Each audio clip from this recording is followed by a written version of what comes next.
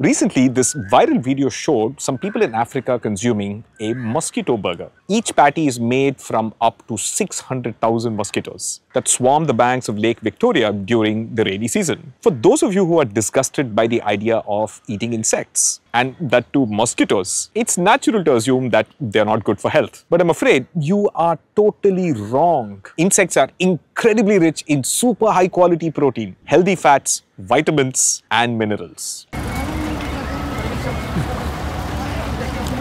And it tastes like mulagavatam.